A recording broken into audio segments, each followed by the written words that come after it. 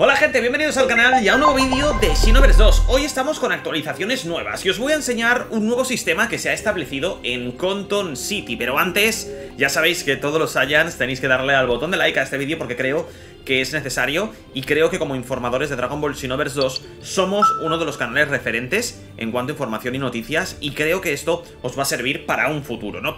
Bien, os voy a hablar de un long, pero os voy a hablar más que nada de las... Eh digásemos, misiones de uniones temporales. Es un nuevo sistema que han introducido en Dragon Ball Xenoverse 2 con la salida del Dragon Ball D-Breakers y os voy a explicar más que nada en qué consiste. Para eso voy a quitar mi webcam y voy a quitar todo lo que hay eh, pues por aquí, ¿no? Eh, el nuevo sistema se encuentra cerca del Nido del Tiempo, donde pues eh, tenemos las misiones de Dragon Ball y demás, ¿vale? aquí, ¿vale? Tenemos dos opciones, ir al chat, por ejemplo, ¿vale? Que me ha dicho que la máquina del tiempo iba pilotado en una chatarra y acabó estrellando.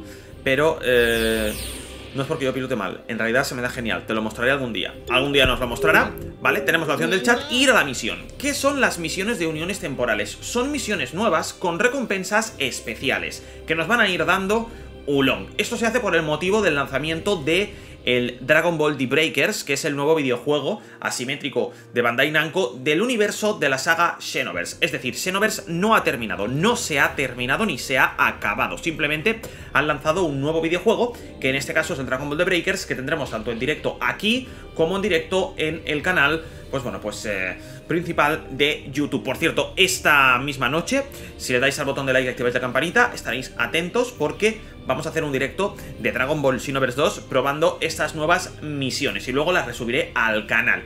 Aquí tenemos ciertas misiones con ciertos, ciertas recompensas, en este caso nos han dado un diseño especial, eh, es el caos monstruoso, máquina del tiempo que es la misión número 2 que haremos en directo esta noche, derrota a todos los enemigos, derrota a Perfecto Célula en 10 minutos y eh, condiciones de derrota, pues que nos maten, ¿no? Que nos eliminen. Aquí de recompensa tenemos una super alma que puede... Bueno, se llama Parece que puedes luchar y un diseño especial.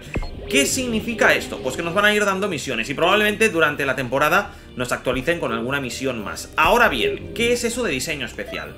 Nos vamos a la bolsa y vais a tener, pues aquí, en la categoría diseño especial, por ejemplo a mí, en esta ocasión, me han dado un diseño que está muy chulo, que es de Ulong, haciendo un poquito el eh, mongolito, ¿no? Eh, esto podéis hacerlo en multijugador y jugador normal. Cuando salga el Dragon Ball de Breakers probablemente den algo eh, también espectacular.